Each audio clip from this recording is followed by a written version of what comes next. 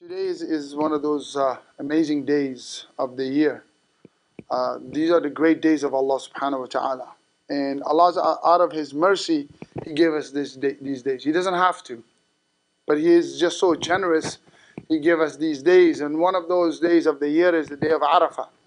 And the day of Arafah, it's the day that we are supposed to come to know our Lord through His mercy to have a ma'rifah of Allah through the mercy of Allah.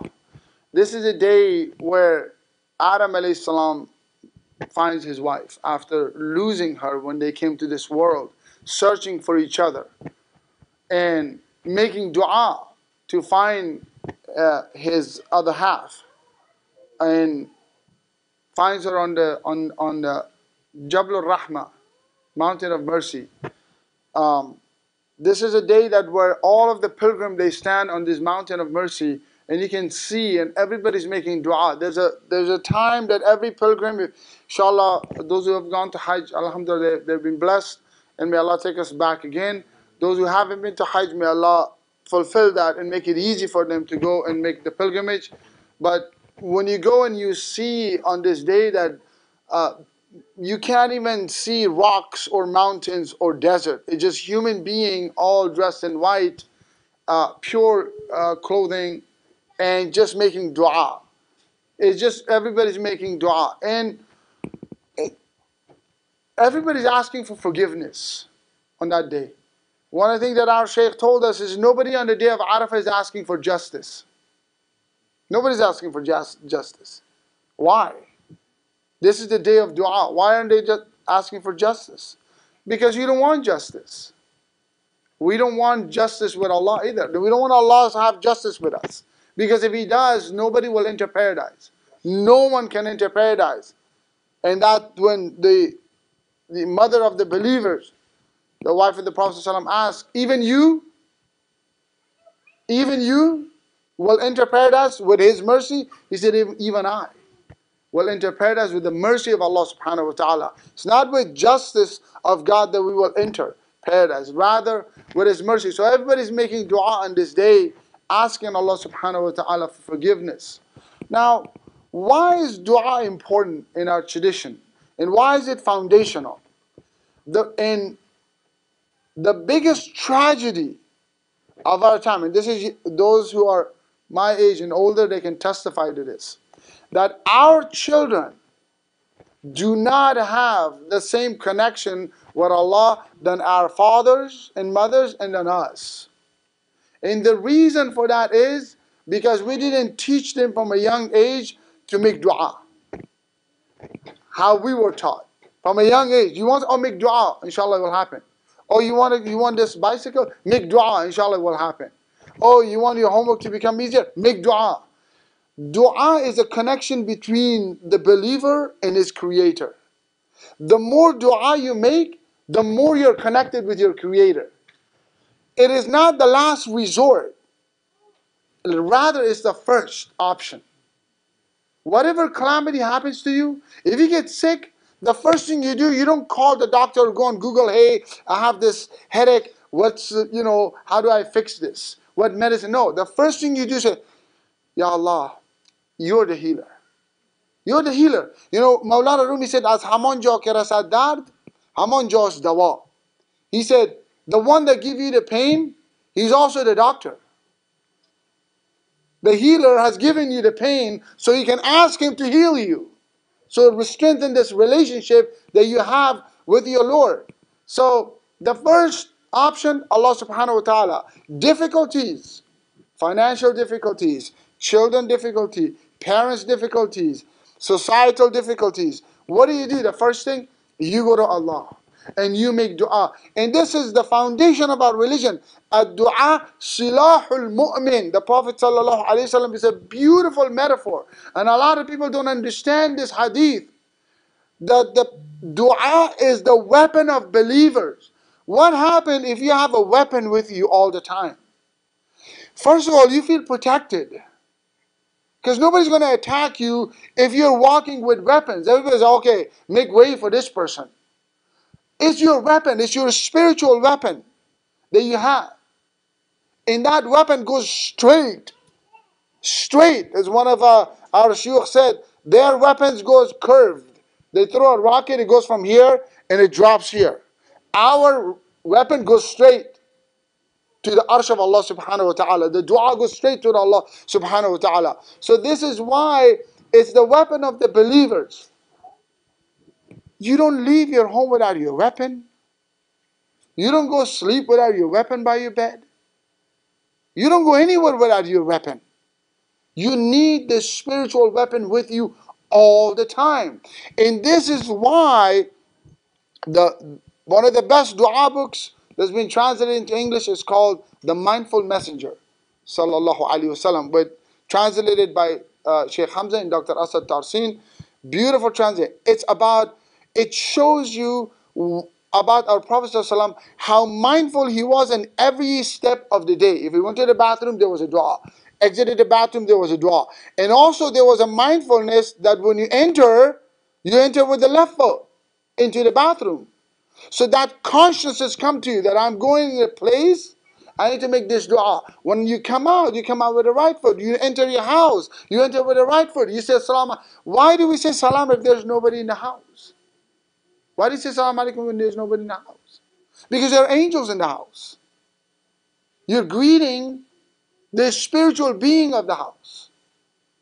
So you become mindful and you realize that our Prophet ﷺ he was just strengthening his relationship with his Lord so much that he became Habibullah. Every moment, every action, every day, at night, first thing that he gets up, a dua. When he goes to sleep, a dua. Goes to the bathroom, a dua. Wudu, a dua. Every limb of the body, body a dua. Why is he doing? Strengthening this relationship with Allah subhanahu wa ta'ala. Because Allah ladina amanu. Allah is the wali of the believer. If you have Allah on your side, you don't need anyone else. He suffices. If Allah is with you, you don't need anything else. But if you don't have Allah, and you have the entire armies of the world behind you, you're still vulnerable. You're still vulnerable. You're like a glass case that could be broken with a pebble. But if you're with Allah, and Rumi said something very interesting. He said, the difference between the one, the difference between the one who has Allah in his heart, who has Allah on his, on his tongue, who has this relationship with Allah, and the one who has abandoned Allah. He said, what's the difference between that? He said, here's the difference.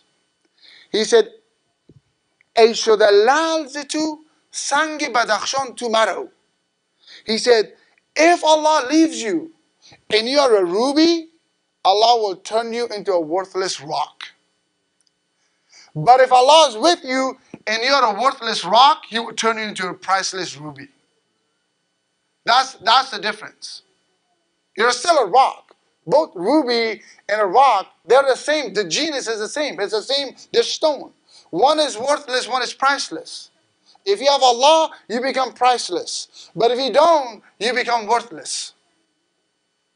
These are, this is why we are making dua. This is why these days come, the days of Arafah, the, these days of Ramadan, these days that remind ourselves that we need to reconnect with Allah. Now, dua, here's the thing there's three aspects to du'as. One, you make dua, Allah answers it. You make dua, Allah answers it. Right? وَقَالَ رَبُّكُمْ أَدُعُونِي اسْتَجِبْ لَكُمْ Allah says, you call upon me, I answer it. I'll answer your dua. And that's our lives. We call upon Him, He answers. We ask, He gives. Right? If you look at your children, those people who have young kids and they grew up, they should have died a thousand times before they hit the age of seven. They should have died a thousand times. Why are they alive? Oh man. Oh, just grab. You're gonna fall from the chair. That fall would have been deadly. Why did they put the like my sheikh said, why did they put the fork into the electric thing? they get electrocuted. And as a father, you see this. Oh my God, if you would have fallen, if you would have fallen, if this would have happened, if this would have happened. These are all because of your du'as. It's the du'as that's doing that, it's protection for your kids, for yourself, for your health, for your well being. All of these things that we don't see. We don't see uh, somebody, you know, somebody's uh, house caught on fire. But what about every other house that never caught on fire? Why? Shouldn't it catch fire? Don't we make the same mistake? We don't leave the iron on. We don't leave the stove on. Everybody does that. But it's your du'as. Allah is protecting you. You have that protection. So Allah answers that. And we don't see it. But on the day of judgment, Allah removes the veil. And He will tell you, look at what I did. With all you do, look. That time, this time, your son, your daughter, your children, your wealth, your health, all of that. You ask, I did it. And I didn't even show you that I did it. This is the generosity of your Lord. If you do some good to somebody, you want to show them. Oh, well, I, I ordered this book for you. Here you go. We don't send it anonymous to their house. Oh, somebody sent me a book. Who? I don't know. We tell them, hey, I sent you a book. Or I sent you this gift. We tell them it's the nature of a human being. But Allah is not doing that. He's so generous. On the day of judgment, He's going to show us. For us to know that I answered your du'as.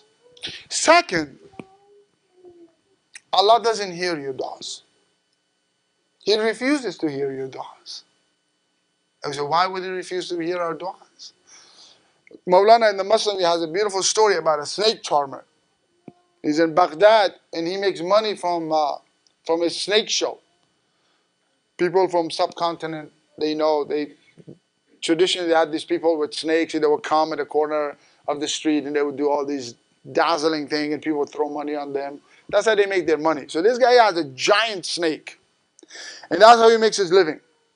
That's his job. Every morning he comes in there. So he takes a lunch break, comes back, snake is gone. Somebody stole a snake. He gets really upset. And he starts going after this man.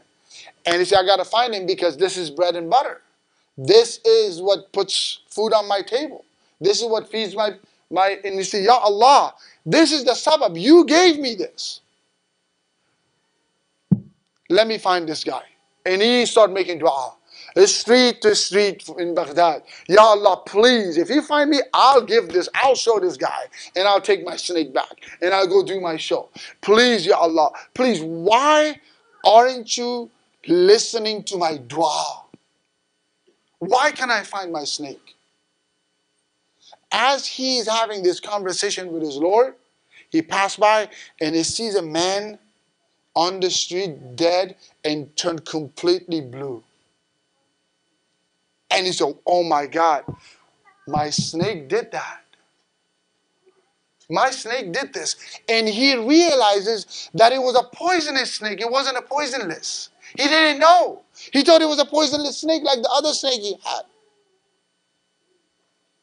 شکر حق را کان دعا مردود شد من زیان پنداشتم آن سود شد so now he tells, tells Allah Ya Allah I want to thank you for not listening to my dua.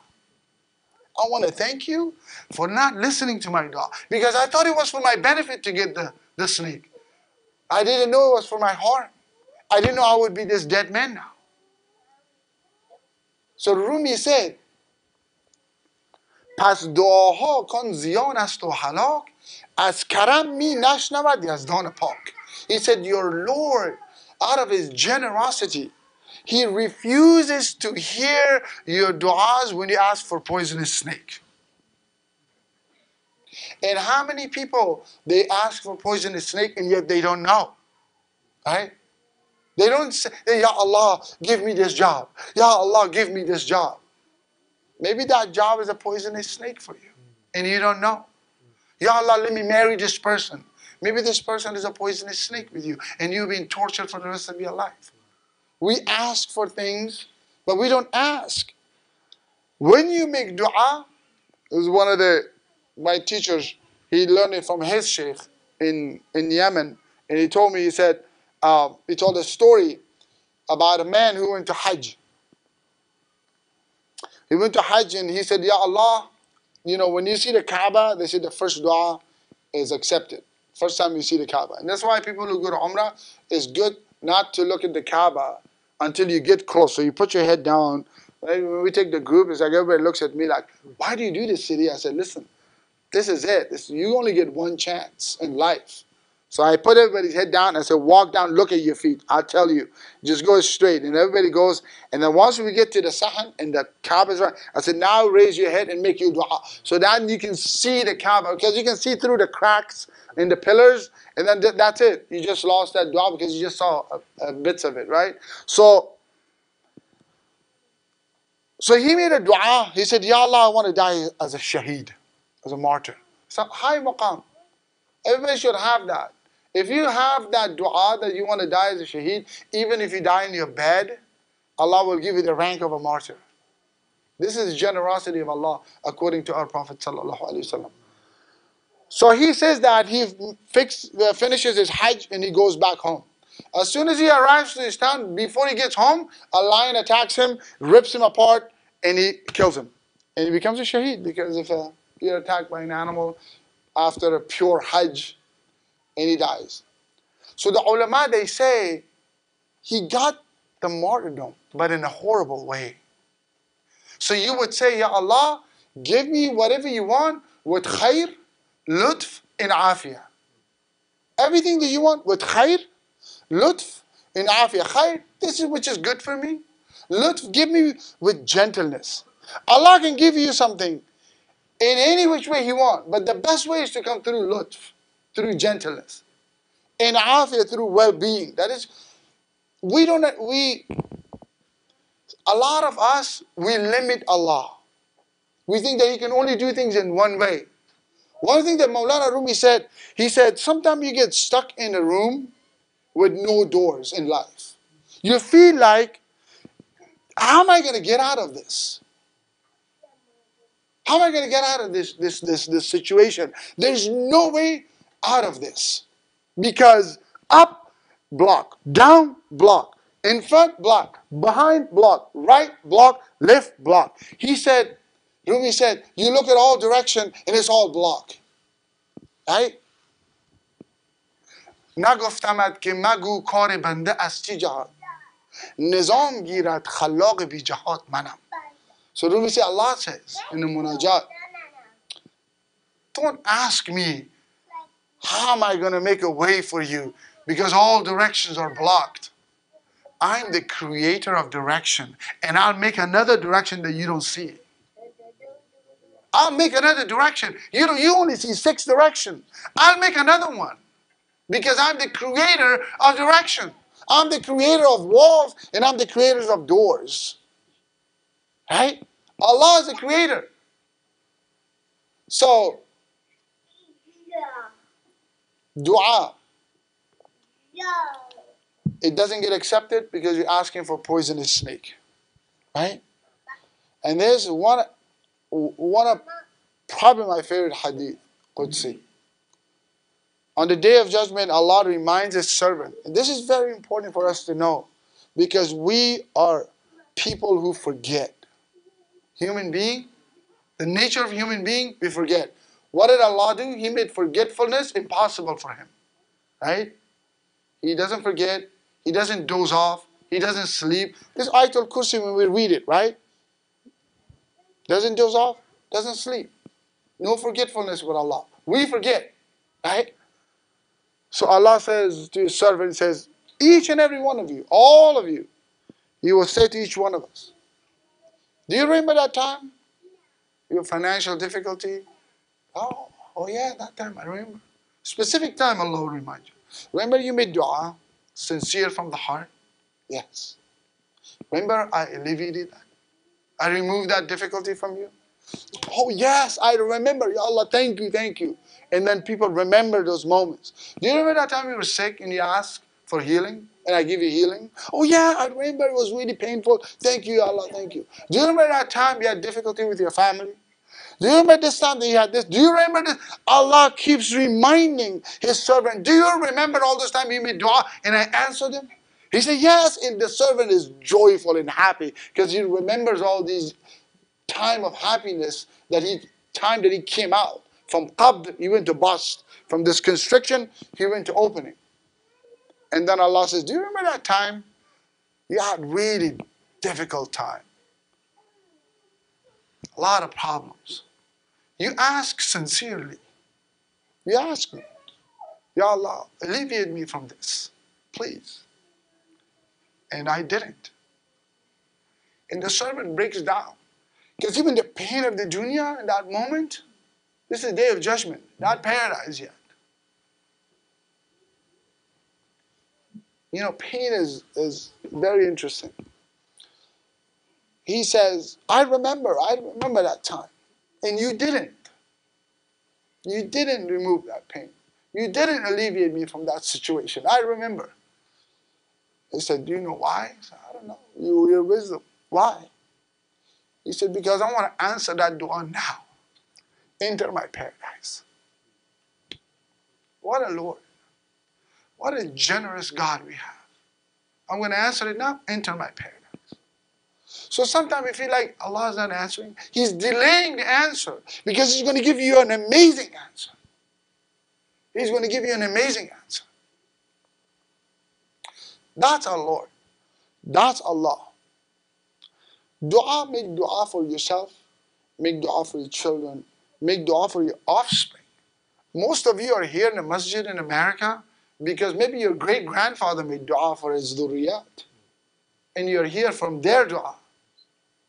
It just got delayed and Allah answered it four generations later or five generations later or two. Just keep making dua. You say, oh, my son, oh, my daughter. Okay.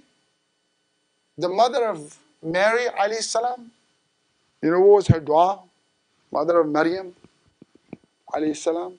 Ya Allah, give me a, give me a, a son to become a prophet. That was her dua. She wanted the prophet, a son to be her.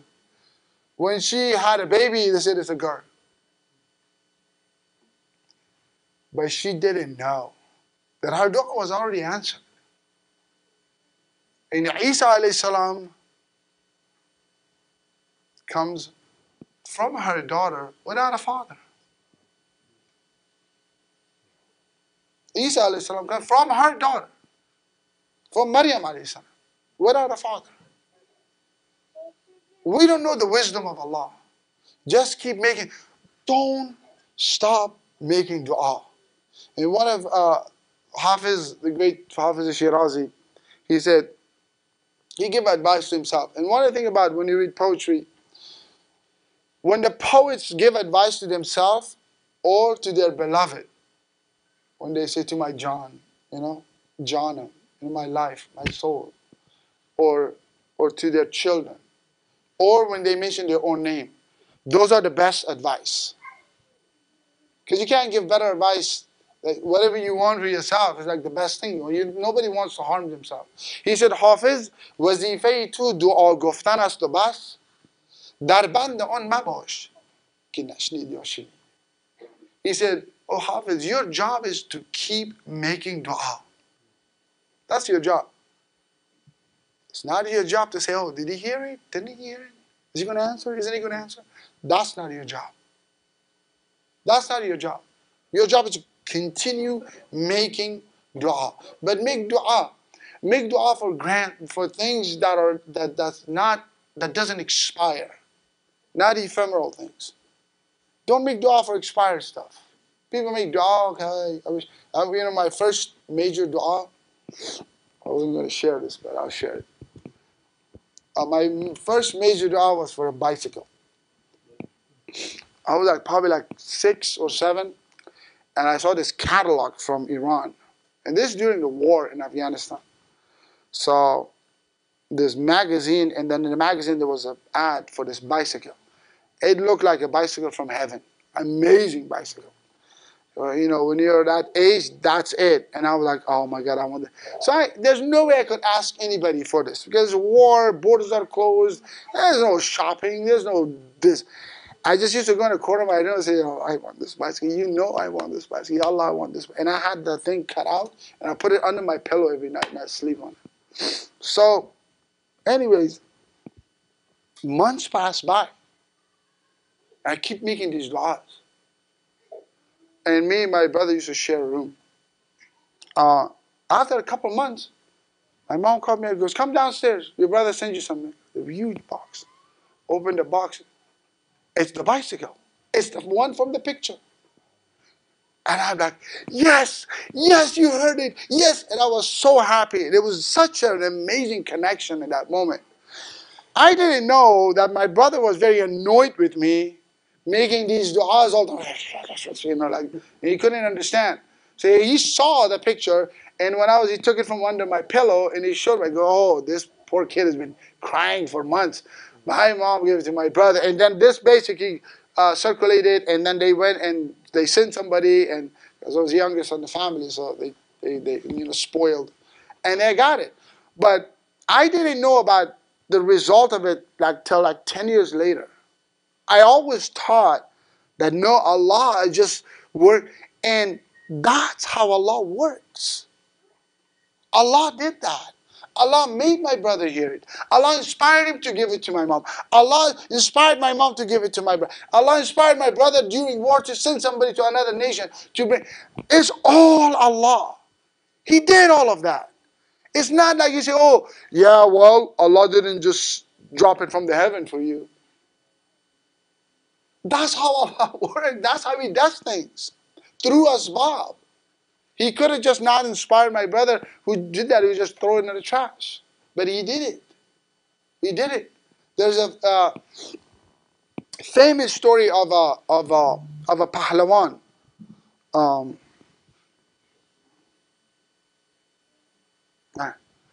he is mentioned in the uh, in the um, Tazkiratul Awliya of Fariduddin Attar. Uh, this pahlawan of is Iranian Persian pahlawan and he's undefeated, completely undefeated. He's the king's pahlawan. So whenever the wrestlers they come in, traditionally they would bring the kings and they would have a, a wrestling match in front of the kings of other nations. So the king, uh, the the prince, one of the prince from India, is comes to visit Persia, and the uh, the Khalifa says that okay, we'll have a wrestling match. Everybody knows about this. Pahlawan Mahmud Puria. That's his name. Pahlawan Mahmud Puria. Everybody knows Mahmud Puria is like Khabib. Like there's no way he can beat this guy. Like this guy is, is deadly. And they come and this Indian wrestler is good. But he knows he's he's not that good. Like he knows there's no so anyways, Pahlawan Mahmud is very smart. He always wants to know the the, the, the moves of his opponent. Because if you know their moves, you can, you know, how they play, you can actually uh, defeat them easily. The mother of the Indian wrestler is shivering at night. Because he knows, oh, Pahlawan Mahmud, he, he, he can break the bones of people. So he, she is in a courtyard and she's just begging, Ya Allah, please don't humiliate my son. Ya Allah, please don't humiliate my son. Ya Allah, I, I don't hurt my son. I don't want him to get hurt. My son is going against this beast, Pahlawan Mahmud Puria. What is he going to do? Ya Allah. So she's making it. So Mahmud, Mahmud Puria wants to see how this guy trains. And at this time that the mother is making dua, he's on the roof trying to find out if he's practicing in the courtyard. So he hears the dua of the mother. He hears his dua, Ya Allah, protect my son from this guy. I hope he doesn't hurt my son. I hope I, if, he, if my son is defeated, the prince is going to, what is he going to do with him when we get back? How humiliating that would be. So she's making this dua to Allah and he hears it. So the next day they go, the battle, everybody's there. And Mahmud, Mahmud, everybody's shouting. And they go into battle and they start fighting and fighting and fighting. And they're all shocked. Like, oh, this Indian prince is really good. Beats him up, knocks him out. Mahmud falls down, they lose, first loss. King throws the towel at him, get him out of my, my castle. He's done. His whole thing is done. That night he falls asleep and he sees in his dream and he hears the voice of God and says, We know why you did that. We know why you did that. You wanted her dua to become true. And you were the one that could do that. Nobody else could do this. Only you could do this. And you did it. And you did it for me. Even though nobody will ever remember you as a wrestler, I'm going to make you be remembered as my awliya. And he is one of the top saints. Two saints that we have in the history of Islam that were wrestlers. He's one of them. Why? Dua. All asbab. And if you can make somebody's dua become a reality, go ahead. And you would see the result of how Allah will deal with you and what He's going to turn you into. And what He's going to turn you into. So, to conclude, du'as have adab. Have to have. But Mawlana Rumi says something very interesting. He said, when you're making dua, Allah is not interested in your grammar. He's interested in the grammar of the heart. Right?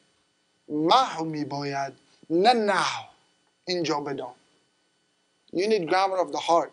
You don't need morphology. You don't need sarf al You need grammar of the heart. Speak from the heart. Speak in any language. The best dua, the best dua is when you're tongue tied and you can't say anything. And Allah hears everything. You don't have to. Allah doesn't need you to come and say, and it's like when people go to Hajj, well, I, they go to Hajj and they're making tawaf of the house with a paper in their hand. How do you make dua like that? You have paper in your hand? Imagine somebody comes to you and they want to tell you something. Yeah, assalamu alaikum, Like, that's so stupid. It's so disrespectful. To the one who understands your thoughts, who created your tongue, who inspires you to say it, and you're still going to try to be uh, politically correct and with a paper. Just speak from your heart. People say, oh, I don't have a lot of surahs memorized. They have Qul Allah had memorized. Yeah, just keep repeating it. Do you have La ilaha illallah? Just keep repeating it. You know, Alhamdulillah, just say Alhamdulillah. Conference go there, they don't know much. You say Alhamdulillah. Say Allahu Akbar, Alhamdulillah, La ilaha illallah. Whatever you, just say it in English. You, Allah, you are great. Praise be to you.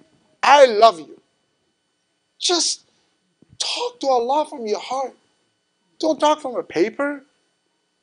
Don't talk from a paper. You know, uh, Maulana has a story about a, a king who, uh, good king. A lot of people love him. But specifically one man. One man is in love with the king. Everybody knows the lover of the king. Oh, the lover of the king. He walks out, everybody knows him. He, he, he loves the king. The king of all of the people in the nation knows him. Knows him by name. My lover, this man, oh man, you give my life. You give his life for the king. Anything. You can't say anything bad about the king. As just every prayer, he does two units of nafil, sends it to the protection of the king. He's an amazing man. Loves the king. Everybody knows. So he goes to see the king once a year in the castle. When he goes, everybody wants to say, hey, can you tell the king to do this? Because if you tell him, he would never say no to you. He would never say no to you. So he goes every year. So he goes to the king, and he, his pocket is full with paper, all proposals for people. Hey, king, if you can help me buy a house, if you can give me donation, if you can get my brother out of prison, if you, everybody has issues to the king. So his pocket is full of just proposal to the king. And he goes to the king, he said, when I get there, I will tell him, I'll read one by one, and I'll tell him all your stuff, and he will do it. I, I'm, um, trust me. This is the least I can do for you guys. He goes, and he says, and they said, listen, we know the king. This is hundreds of things. If you can get us like 10 approval, we are more than happy. If you get 10 approval, if you get 5, we are happy. We know that he's not going to answer all of this. You have like hundreds of, of proposals here. So he goes to the king and he sees the king comes into the room. He says, Oh my. False. Goes unconscious from the love of the king, smiling. And the king says, oh, Can't even look at me. Look how much he loves me. Look at you guys. Look how much he loves me. As he falls, the papers come out from his pocket. And the king says, Take all of those proposals, answer all of them. Take all the proposal, answer all of them. Had he proposed it, he would have got 5% or 10% done. But because of the love, because he couldn't say it, Allah answered all of it. So whatever is in your heart when you make dua, Allah knows your heart. You don't have to say things. Sometimes you get overwhelmed. Allah knows your heart. That's just at the moment that you just overwhelmed. You have so many things you want to ask. And don't think, you know, that you can, you're asking too much from Allah. You know, you can't ask too much from Allah. Right? But the greatest thing you can ask from Allah is my favorite scholar of all time, Khaja Abdullah Ansari. He said, Everyone who comes to your door, everyone who comes to your door, Ya Allah, they want something from you. Man آمدم از تو تو را I came to your door, I want you from you. Everyone wants something from you? I want you from you. I want you to give me you. Put you in my heart. Put your light in my heart. Because if I have you, I have everything. I'm that priceless ruby. And if I don't have you, I'm a worthless rock. I have nothing. And that's the way of our ulama. That's the way of our teachers. That's the way of our religion.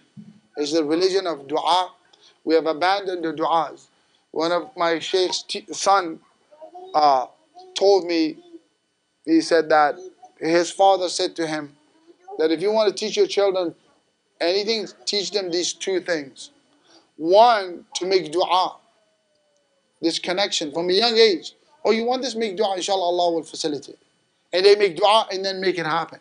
Oh, you want ice cream? Keep making dua, maybe Allah will make it happen. And then they make dua. You say, but did you make enough dua? Did you, how many times you say Five? Oh, say more. Come on, ask more. And they go, hey, I think it's ice cream time. Wow, your dua was answered, right? So you would do that from a young age, when they're three, four, so they can get this connection with Allah subhanahu wa ta'ala. The second thing to teach them is tawbah.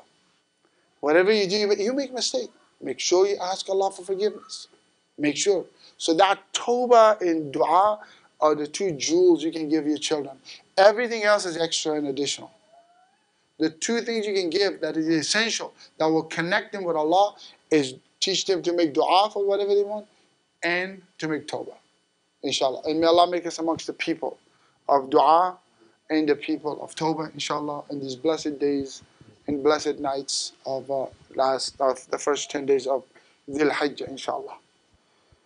Jazakallah khairan. If there's any correction, comment, or question, uh, other than that, we'll do a dua, inshallah. What's the advice for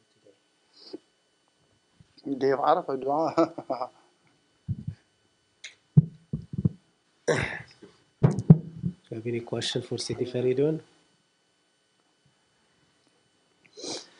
Yeah, we heard a lot about dua. It's time for dua, especially after Asr. When Maghrib comes close, we can do individual dua, face the Qibla, ask Allah for anything. It's the best time to make dua. Same thing like the Hujjaj doing Arafah. Uh, Sidi Feraidoon, he mentioned a very important point. If you don't know how to make dua, what the, a man came the Prophet told him, teach me some dua, I don't know how to make dua. And the Prophet told him, what do you say? He said, I just say, Allahumma adkhilni al-jannah wa najjini min al-nar. He said, I just ask Allah to put me in Jannah and to keep me away from the hellfire. The Prophet ﷺ said this very important statement after that. He said, حول هذا ندندن.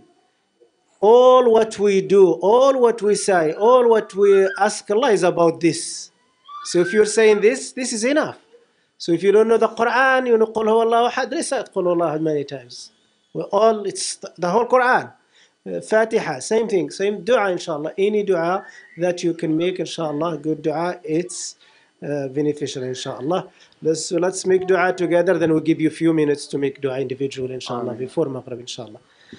بسم الله الرحمن الرحيم الحمد لله رب العالمين والصلاة والسلام على المبعوث رحمة للعالمين سيدنا وحبيبنا المصطفى محمد وعلى آله وصحبه أجمعين ورضي الله عن ساداتنا أصحاب رسول الله أجمعين وخصوصا أبي بكر وعمر وعثمان وعلي وعن سائر الصحابة أجمعين وعن التابعين وتابع التابعين ومن تبعهم بإحسان إلى يوم الدين وعنا معهم بفضلك وجودك وكرمك يا أكرم الأكرمين يا أرحم الراحمين يا رب العالمين. اللهم بارك لنا في هذا اليوم يا رب العالمين.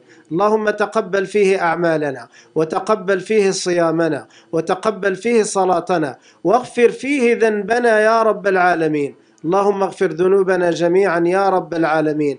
اللهم اغفر لنا وارحمنا يا أرحم الراحمين. اللهم تب علينا واهدنا يا رب العالمين. اللهم اشف مرضانا. اللهم اشف مرضانا. اللهم اشف مرضانا وعاف مبتلانا. اللهم عاف مبتلانا يا رب العالمين. اللهم اصلح أولادنا. اللهم اصلح بناتنا. اللهم اصلح نساءنا. اللهم اصلح رجالنا.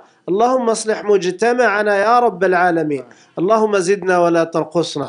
واثرنا ولا تأثر علينا يا رب العالمين.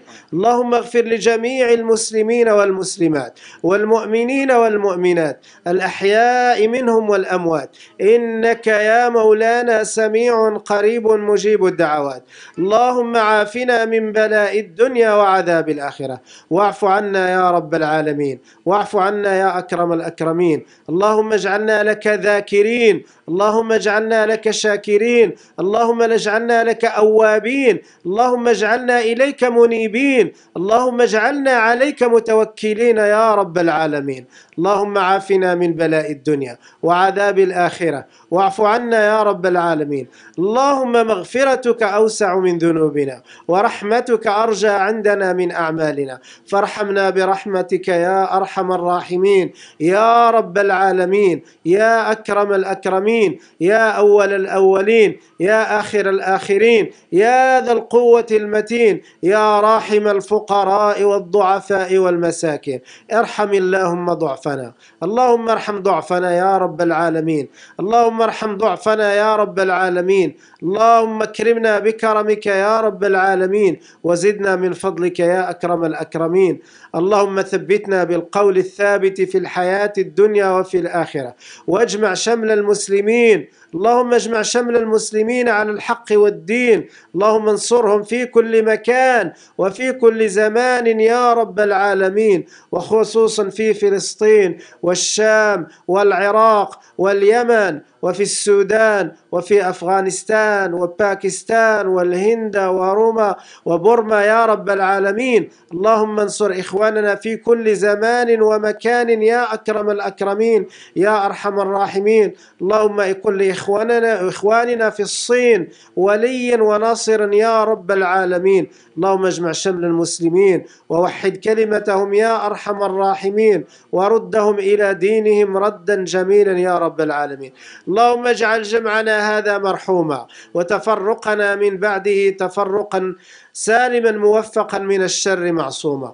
اللهم لا تجعل فينا ولا منا ولا معنا شقيا ولا محروما ولا معذبا بنار. اللهم يا أرحم الراحمين يا رب العالمين ارحم موتانا وموتى المسلمين أجمعين.